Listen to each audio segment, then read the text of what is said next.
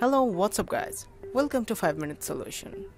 In this video, I'm going to show you how to hide Facebook posts from someone else.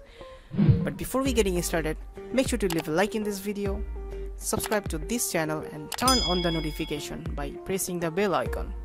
So without any further delay, let's go straight into the video.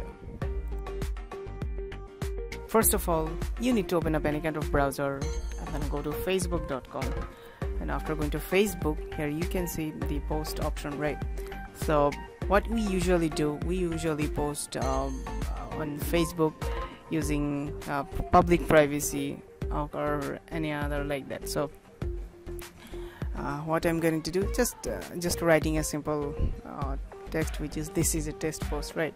So after that here you can see I'm just clicking on privacy option so here you can see public uh, friends friends accept only me specific friends and custom lots of things. So let's say you want to hide your post from a particular person or two particular person. So now uh, I'm just looking for a person I want to hide my post from. Okay let's say Ashraf Ali. This is the person I want to hide my post from.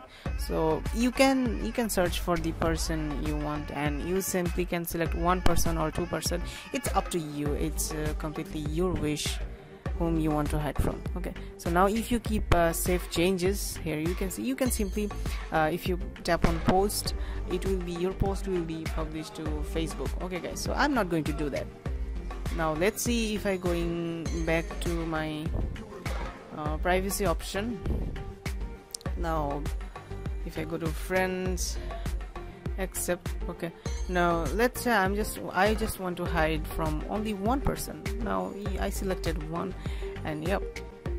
Okay so if you click on post simply the same thing will happen. Okay so now in case you want to uh, show your post to specific friends like uh, i have 2000 friends and i just want to uh, my want to share my post among two among my two friends or one friends it, it, it's up to you completely. You can simply select them and save changes right?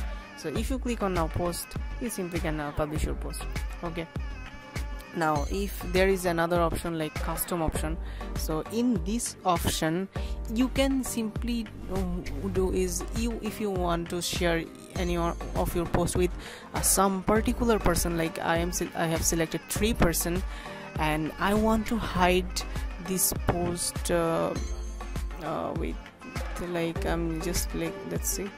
Just uh, I want to hide this post with this person okay. Okay now if you click on save so this is a custom privacy post. Okay. So in case if you want to do this. Okay. So this person this three person will be able to see this post and uh, as you guys seeing. Okay.